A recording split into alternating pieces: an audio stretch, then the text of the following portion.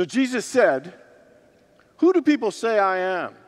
And the disciples said, Some say that you are John the Baptist returned from the dead. Some say you are Elijah. Some say you are one of the other prophets. Jesus answered and said, But who do you say I am? And Peter said, Thou art the Logos, existing in the Father as his rationality, and then by the fact of his will being generated in consideration of the various functions by which God is related and connected to his creation. But the scripture says, a Father and a Son and the Holy Spirit and each member of the Trinity being co equal with each other and acting inseparably with one another, with only the economic subordination within God, which in no way creates any division of the substance which is no longer simple. And then Jesus answered and said, Huh? okay. So, uh, I love that. Well, how many jokes did Jesus say, huh? So the thing um, is, I hope the, the, words I'm about to say now make, as much, make more sense than the ones we just heard. But what we're going to do is jump from Jesus to Genesis. And I want to ask you a question. What were God's four, first four words in, in Genesis?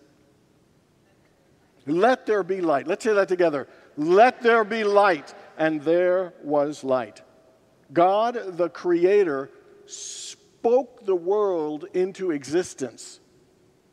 Through the power of the spoken word, He created everything He wanted to create. And the story of creation shows the power of God to create, but also shows the great gift of creation that we have all been given. Let there be light, and there was light. Similarly, whether we realize it or not, we are speaking our personal world into existence by the words that come out of our mouth. The words we speak have an impact on the quality uh, of the experiences that we have in our lives. In the book of Genesis, chapter 2, verse 19, after God had created everything, including Adam and Eve, he begins to talk about giving us dominion and authority over all things. And one of them is that we get to name everything. And here's what it says God formed every animal of the field and every bird of the air and brought them to the man to see what he would call them. And whatever the man called every living creature, that was its name. We have the power to call everything in our lives. We can call it good, we can call it bad, we can call it positive, we can call it negative. But we get to name things, and they can either limit or they can expand our experiences of them. Life is fun and fulfilling, or life is hard and a struggle. We get to name it. And when we name it, we create it. You know, people are caring and supportive, or people are cold and selfish. We get to name it. And what we name uh, creates it. In the book of Matthew, chapter 12, verse 36, it says, On the day of judgment, you will give an account of every careless word you utter. By our words, we are justified. By our words, we are condemned. How many people have ever spoken some words carelessly? Words that were unkind, harsh, kind of negative. The fact is, we all speak some careless words sometimes. And the truth is, every day is Judgment Day. Because the words that we put out you know, come back to us. As it says in Isaiah, the words that go out of my mouth shall not return empty. That the words we put out, the energy that we put out, that it will come back to us. And basically, what it's saying that our word matters. Words count. Words create. Words attract. How many people would say you absolutely believe that our words have the power to create and shape aspects of our lives? And how many people would say um, that what we name things has an influence in the experience we have of those things. In the book of Proverbs, it says, Life and death are in the power of the tongue. That we can use our words to build up or tear down. We can use our words in constructive ways or destructive ways. You know, our words are powerful. So it's important that we take care and attention because they will impact every area of our lives. Today, we are in week two of our five week series on the Ten Commandments. And um, basically, the Ten Commandments are the fundamental laws, the spiritual laws. And as we understand them and apply them, we can really open up to allow God's abundant flow to move through all areas of our lives an abundance of love or creativity or joy. Uh, all the good things we could ever desire open up when we follow the fundamental laws in the Ten Commandments. You know, the first law is there should be no other gods before me. And that means that God is our source, God is our one supply. And it's not just to think it, but it's to actively keep seeking and connecting and asking and trusting God. The more we connect, we know build our oneness and faith, we open channels for God to bless our lives. There's only one source, but there are many channels. Our job is not our source, it's just a channel. Money is not our source, it's just a channel. But the more we connect with God, the source, the more we open our lives to more channels. The second um, commandment is thou should uh, create no graven images or idols to worship. And sometimes we create idols to worship and we don't even realize it. And it'll, it'll sound crazy, but worry is an idol that we worship. That when we begin to bow to worry, and, you know, and, and take ourselves away from God, we are creating a, a, lot of negative images. Even though we have access to all this abundance and connection through God, we create graven, graven images that, of lack that limit our level of happiness and fulfillment. Even good things like money. Money is a good thing. But we cross that line when we're thinking money is the thing that'll make my life happy or people's approval will make it. We create these images that pull us away from God, our, our source, and has us experiencing lack when we actually have access to all this incredible abundance. And so we need to use our images to create images of abundance, images of love, images of success and happiness and fulfillment. And so today we're going to look at commandments uh, three and four, um, and that is about uh, using God's name in vain or a wrong use of God's name. And the other one is to keep the Sabbath and to keep it holy. Remember the Sabbath. So let's uh, look at the third commandment. I'll read the full thing. It says, You shall not make wrongful use of the name of the Lord your God, for the Lord will not acquit anyone who misuses his name. And so when it's saying don't use God's name wrongly, the truth is that our name is connected to our nature in the Bible. So it is saying that do not uh, connect our nature of God, which is abundance and pure light, which is holy and sacred, with anything that is less than. That when we attach anything of lack and limitation, it is sort of blaspheming against God, who is all goodness and all abundance. And so, what is God's name? Well, this little boy walks into Sunday school and says to his teacher, I know God's name. The teacher says, Well, what's God's name? And he says, God's name is Howard. He says, How do you know God's name is Howard? Because it says it right there. Our Father who art in heaven, Howard be thy name.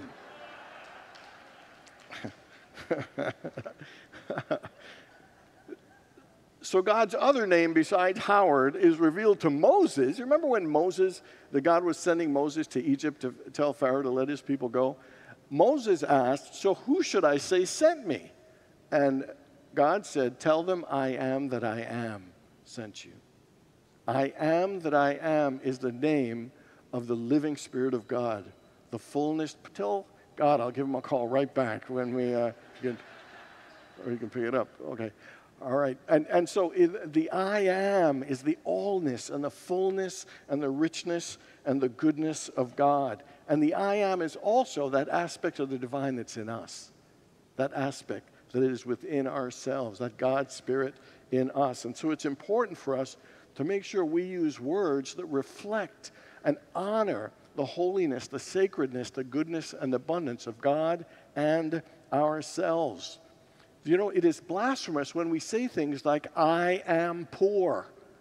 Because A, that diminishes that God is not uh, uh, uh abundant, and that diminishes that, that we are not worthy of that abundance. We need to be careful the words we use and attach to the I am because it reflects and diminishes the power of God and reflects and limits the amount of good that we can attract in our lives.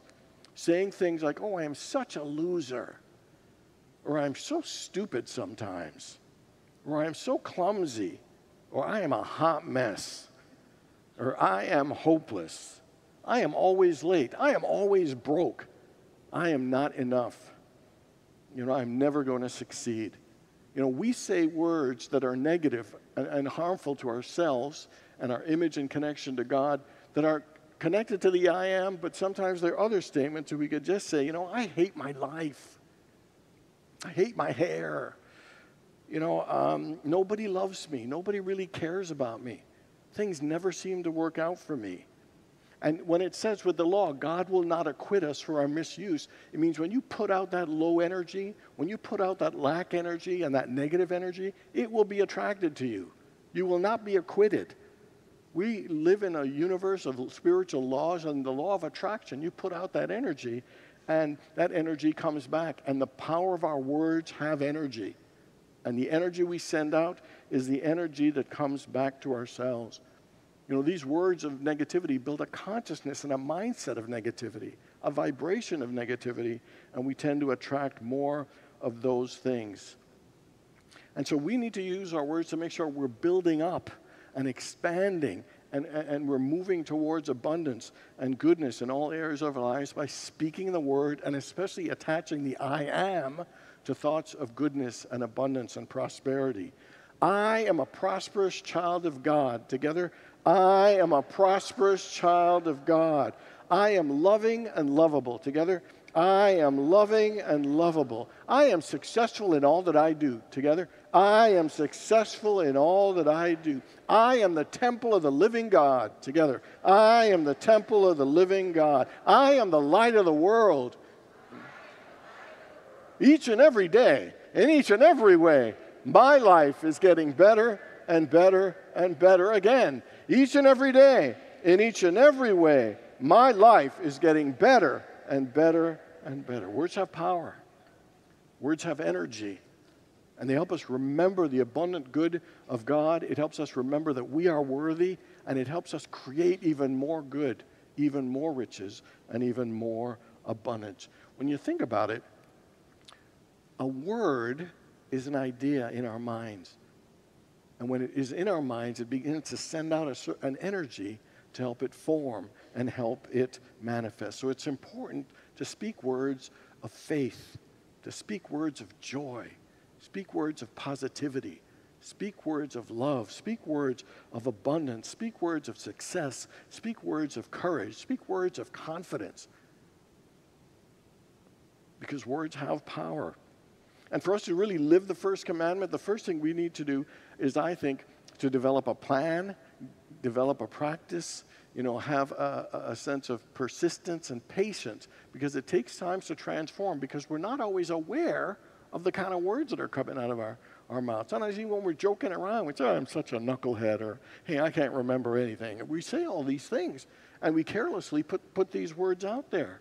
So the first thing we need to do is to start being aware of the words that are coming out of our mouth that aren't really healthy and aren't really the kind of life that we want to live. And what would be really great is to find a partner or someone close to us to help us become aware for one another some of the words that come out of our mouth. Not in a shaming way, like, oh yeah, look at that negative thing you said, but in a helpful way and a supportive way. Because we need to be aware of some of these words that we say. Sometimes we're not even aware of the negative things we say about ourselves and about our lives. And then the second thing is to set an intention to lift your words to be fully aligned with the abundance of God and the quality of life that we all deserve and the amazing human beings that we are. And then, you know, we can set an intention to just stop saying them, but I don't think that's as effective as saying, set an intention to replace that thought with something better. In all therapy, when you really think about it, is replacement therapy. It is releasing something and bringing something healthier and better uh, into our lives. How many people have heard of denials and affirmations in unity? You know, the, the whole idea with denials is not being in denial, it is denying that a certain negative pattern no longer has power over me.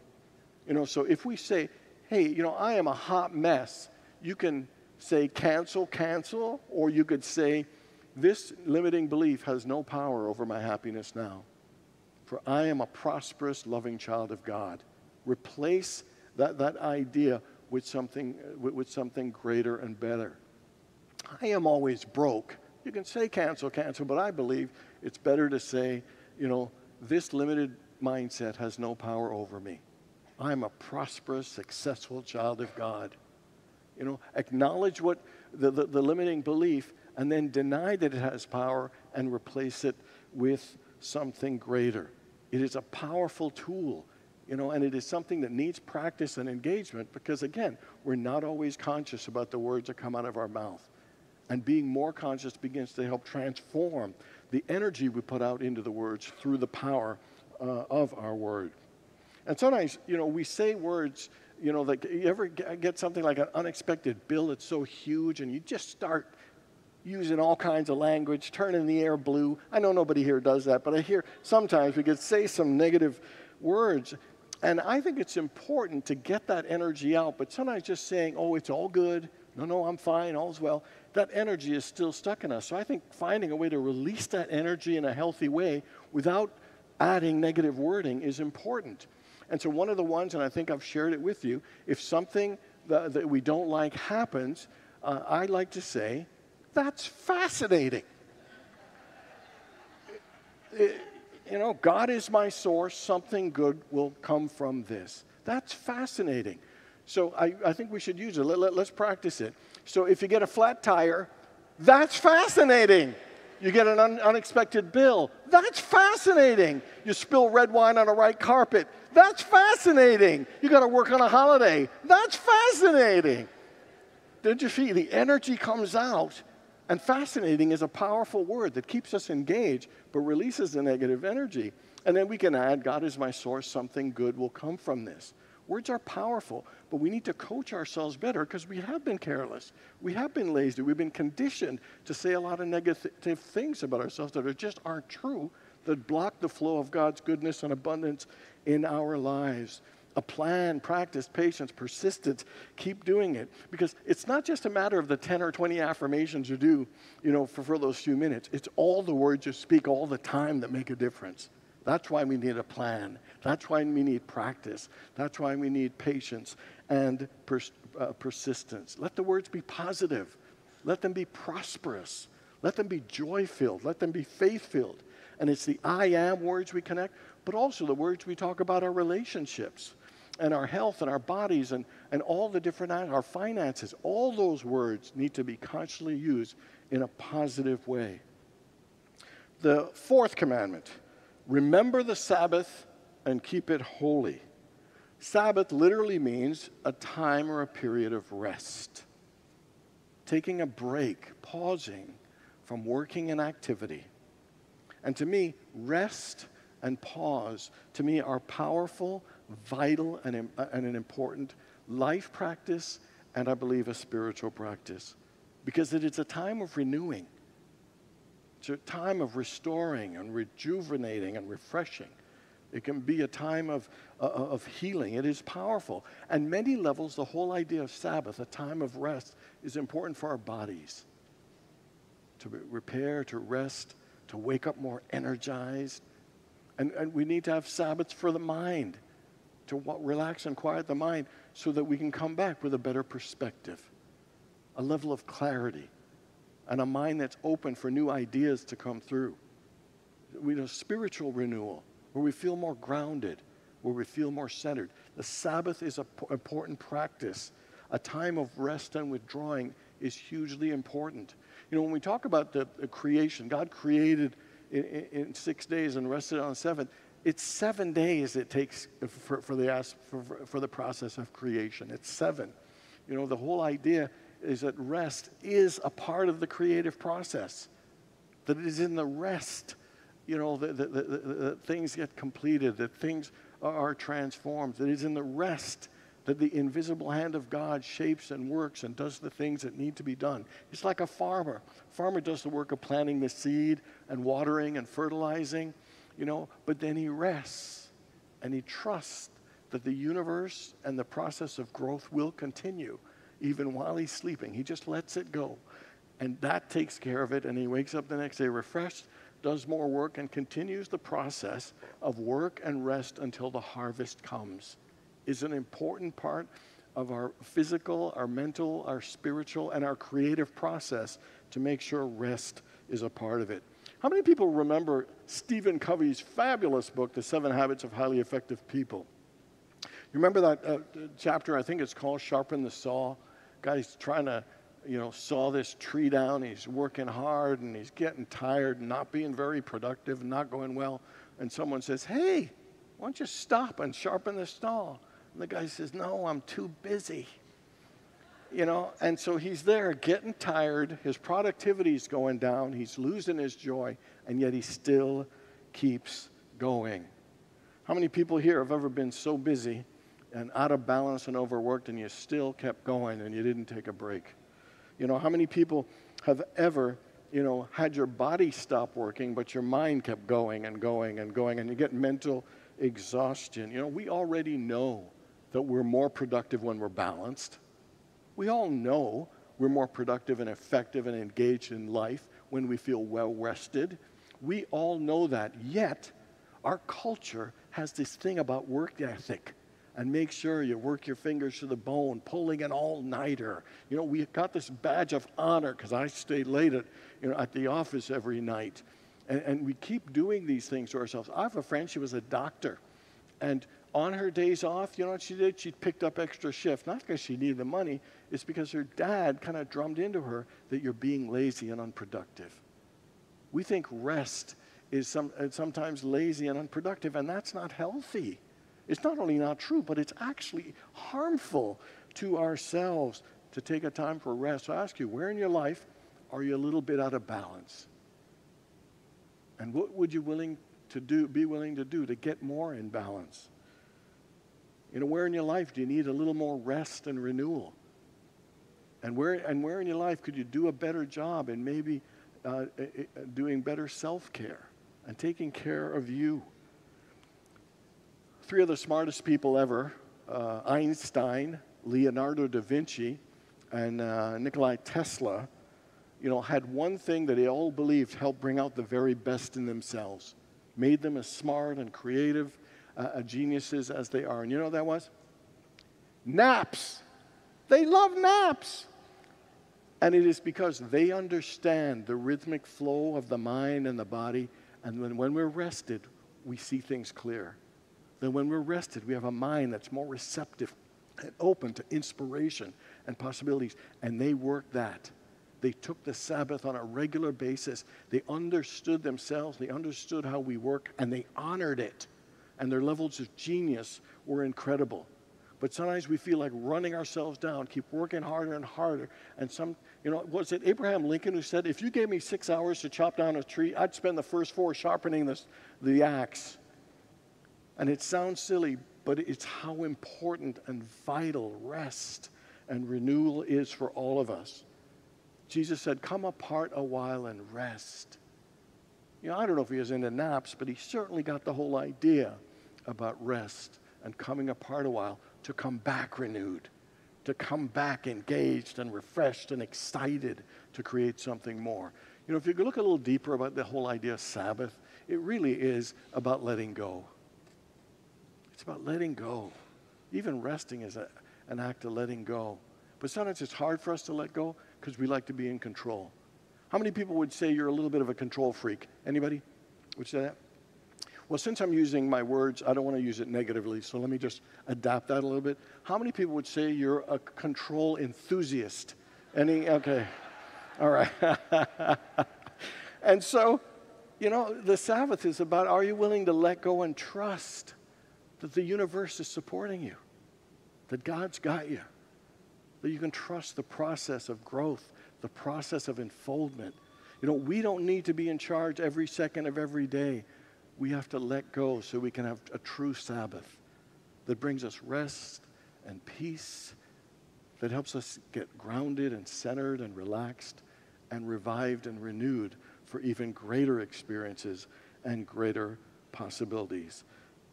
think of an area in your life where you need and would be willing to trust God and let go a little bit more. You know, where in your life, you know, are you willing to let go and do a little bit of self care for you, to honor yourself as the temple of God, and to open yourself to feel the support and connection of spirit? You know, if you really look at it, the third and the fourth commandment are about helping us bring out the best in ourselves through using the power of our words and the power of rest. Bill Klem was a Hall of Fame umpire in Major League Baseball from 1905 to 1941. He was an umpire. He umpired 18 World Series, which is still a record. And he'd say there's always that pressure. Was it a ball? Was it a strike? There's always that pressure. Was it a fair ball? Was it a foul ball? And he would always say, It ain't nothing until I make the call. And so for you, it ain't nothing until you make the call. So why not call it possible? Why not call it hopeful? Why not call it beautiful? Why not call it wonderful? Why not call it amazing? Why not call it prosperous? Why not call it successful? You know, why not call it loving? Why not call it an overflowing uh, level of good and abundance in our lives? Our words are to help build ourselves up, you know, to build up the kingdom of God, build up all the good that is available and accessible to all of us. And our words are an important place to start. You know, the Sabbath is really about honoring that, you know, that spirit of rest and renewal that spirit of rest of knowing that you are supported by the universe. You can let go and know that you, more good things will happen than if you just keep holding on and keep pushing yourselves. It sounds so simple, huh? Words, rest. I mean, this is going to transform my life. And sometimes it's the simple things that make the big difference. Do you know one of the key things they say that set us up for success is going to sound ridiculous? Making up our beds every morning. It puts your mind into a level of organization and clarity. We feel good about ourselves. Just a simple thing like making up your bed every morning can bring our lives great levels of success. We're always looking for the grand slam home run. Sometimes it's the little things that make a big, big difference. Here's what Frederick Schiller said He said, Only those who have the patience to do the simple things perfectly will acquire the skill to do the difficult things easily. Let me say it again. Only those who have the patience to do simple things perfectly will acquire the skill to do difficult things easily. Words, rest, you know, naming, and the Sabbath. These are the things that will help us fulfill the third and fourth commandment, but they will also help bring out the best in us to live a more prosperous God centered life. God bless you all.